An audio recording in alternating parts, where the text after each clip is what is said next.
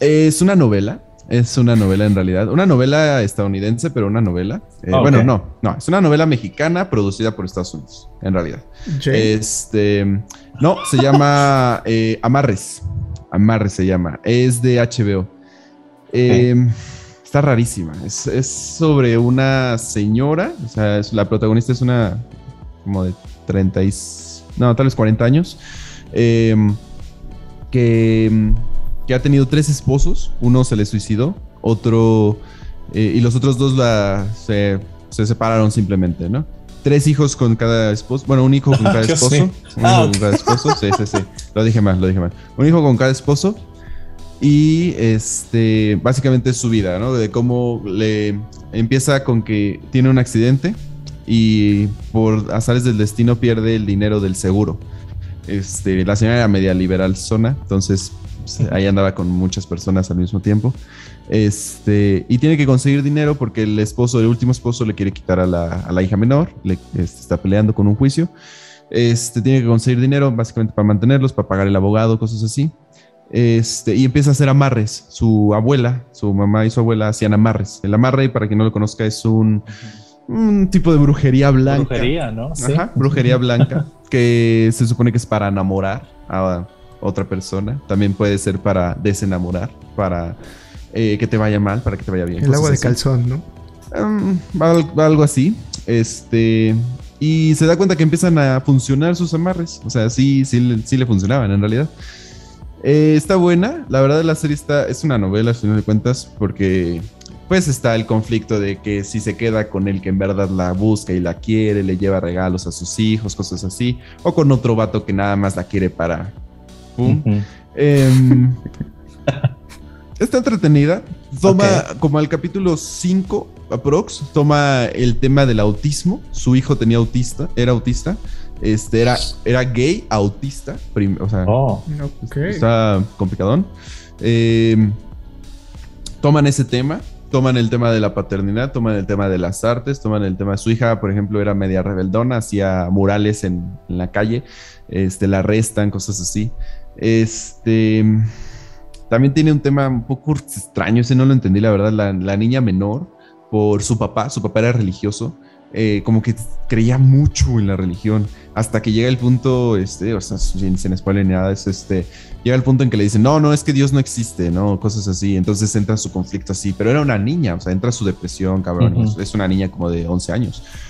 Eh, está buena, son 10 capítulos, la vimos en un día, no, no por mi gusto, la verdad yo... No, no, no, Yo- no, no. Yo no. Tú jamás. me- no me echo este tipo de, de- de series o novelas en un día. Sí veo a veces, pero me tardo mucho en verlas. Ujú. Eh, no, eh, fue por mi, mi cuñada y mi, mi esposa que la estaban viendo, la neta, y yo- y yo estaba cuidando a mi bebé justamente ayer ahí. Dije, bueno, sabemos, no hay pedo. Me, me entretuvo, no lo voy a negar, me entretuvo. Pero Sí, no es el tipo de serie que recomendaría ver a menos que te gusten las novelas. Si Ujú. te gustan las novelas, vela, sí te va a gustar. Porque tiene comedia, tiene romance, tiene lo que una novela te puede dar. Tiene drama. Pero si no te gustan, no, no, para nada. No, sí, sí la voy a ver. A mí me gustan las novelas. Perfecto. Yo no sé, a mí no me gustan las novelas. Pero el tema de los amarres creo que está de moda. No sé que en Facebook de repente aparecen Sí, memes. todo el así de- tiempo, ahora ¿Es verdad el que sí? tiempo. Aparecen Sí. memes de amigas tuyas. de, ah, que me hagan tan, tan amarre. todo mi yo Facebook a es- ese. Ajá, el mío también. ¿Neta? Todo mi Sí. Facebook todos son brujos. Sí, yo Ajá, el mío algo- también. Bueno, obviamente de broma, ¿no? Pero Tienen que está de checar moda, sus de amistades, ¿eh? Sí. No, supongo la neta que yo no había visto nada así. Supongo, supongo, pero es nueva, es nueva de HBO. Está, la pueden ver en la parte de producidas por la, para Latinoamérica o algo así. Este, es curioso que salga en esa parte porque yo pensé que esa parte era por producidas por Latinoamérica. Oye, No, este, tengo también una está duda. en barrios. En, alguna, en algún capítulo aparece un tutorial o algo así de cómo hacer el amarre. No. O- Bueno, nada más sí, es por sí. encima. No, sí aparece, pero se supone que la, la chava hacía amarres como con corazones artesanales, como con unos corazones de mármol, este, o de arcilla, no, no estoy seguro de qué eran. Les ponía la foto adentro, los amarraba y hacía como un conjuro. El conjuro no te dicen qué es, o sea, obviamente es fingido ese asunto.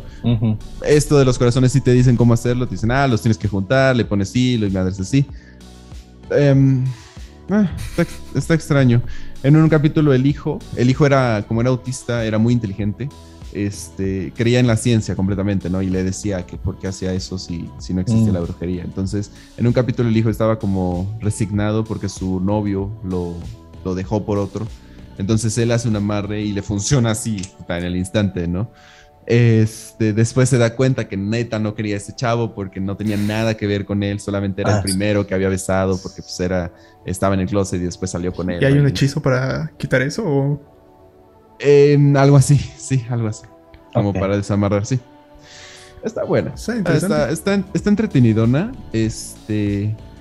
Es la historia de la mamá con los tres hijos, básicamente otros dos, otros dos chavos, bueno, señores que salen, que igual se están como queriendo ligar a la mamá, el papá que está queriendo quitar a la hija, eh, una señora que es la amiga de la abuela, que es como que la que le ayuda a los amarres y todo esto, y, y ya, creo que son todos los personajes.